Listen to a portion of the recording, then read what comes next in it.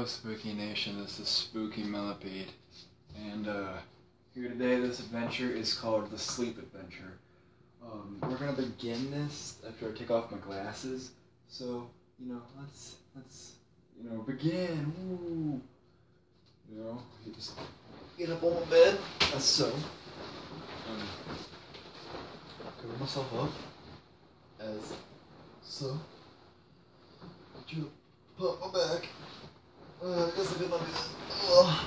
Alright, well, good night, Spooky Nation. Mm. Ugh.